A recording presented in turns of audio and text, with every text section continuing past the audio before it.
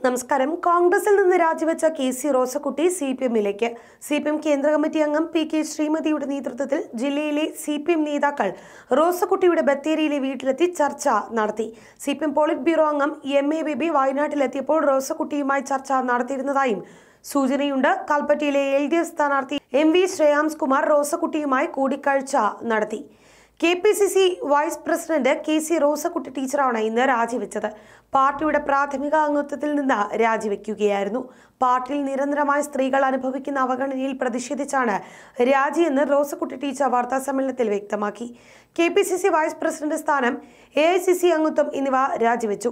രമേശ് ചെന്നിത്തല നയിച്ച ഐശ്വര്യ യാത്രയിൽ പൂർണസമയമുണ്ടായിരുന്ന മഹിളാ കോൺഗ്രസ് അധ്യക്ഷയായ ലതിക സുഭാഷിന് ഒരു സീറ്റ് നൽകാൻ കോൺഗ്രസ് തയ്യാറായില്ല.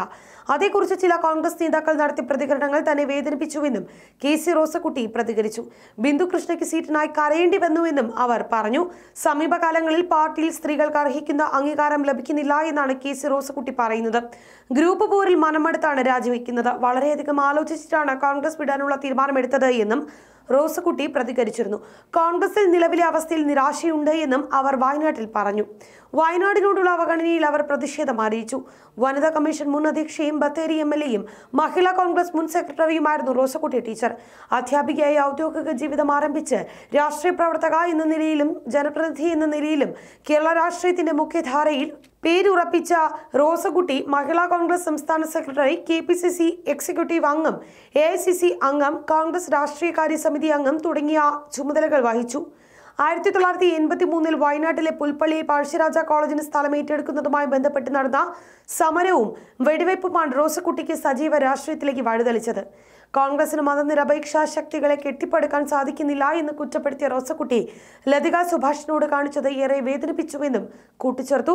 ലതിക തലമുണ്ടനം ചെയ്ത ശേഷം കോൺഗ്രസ് നേതാക്കൾ നടത്തിയ പ്രതികരണം വേദനിപ്പിച്ചു. വയനാട് ജില്ലയിൽ ഹൈക്കമാൻഡിന്റെ ഒരു ഗ്രൂപ്പ് കൂടി വരുമോ എന്ന് ഭയപ്പെടുന്നുവെന്നും മാനസികമായി പ്രയാസപ്പെട്ടിട്ടാണ് ഇത്തരത്തിലൊരു തീരുമാനം കൈക്കൊള്ളുന്നത് എന്നും പറഞ്ഞ റോസക്കുട്ടി പൊതുപ്രവർത്തനം വിടാൻ താല്പര്യമില്ല എന്നും പറഞ്ഞിരുന്നു. വയനാട്ടിൽ നിന്നുള്ള ആളുകളെ കൽപ്പറ്റയിൽ സ്ഥാനാർത്ഥിയാക്കാൻ ഏറെ പരിശ്രമിച്ചുവെങ്കിലും കോൺഗ്രസിലെ മുതിർന്ന നേതാക്കൾ അംഗീകരിച്ചിട്ടില്ല എന്നാണ് ആരോപണം.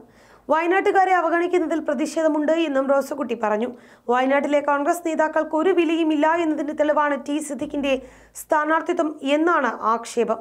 ഏതെങ്കിലും ഒരു രാഷ്ട്രീയ പാർട്ടിയുമായി ഒരുമിച്ച് പ്രവർത്തിക്കേണ്ടതുണ്ടോ എന്ന് ആലോചിച്ച് തീരുമാനമെടുക്കുമെന്ന് റോസക്കുട്ടി പറഞ്ഞിരുന്നു. ഇതിന് പിന്നാലെയാണ് റോസക്കുട്ടി സി പി എമ്മിലേക്ക് എന്ന വാർത്ത കൂടി എത്തുന്നത്. ലതിക സുഭാഷിന്റെ തെരഞ്ഞെടുപ്പ് പ്രചാരണത്തിന് പോകുന്നതിനെ കുറിച്ച് ആലോചിക്കുന്നുവെന്നും കെ സി റോസക്കുട്ടി പ്രതികരിച്ചു. കെ സി വേണുഗോപാലും ഉമ്മൻചാണ്ടിയും അടക്കമുള്ള നേതാക്കളുമായി സംസാരിച്ചുവെന്നും തീരുമാനത്തിൽ നിന്ന് പിന്നോട്ടില്ല എന്നും അവരെ അക്കാര്യം അറിയിച്ചിട്ടുണ്ട് എന്നും റോസക്കുട്ടി ടീച്ചർ പ്രതികരിച്ചു.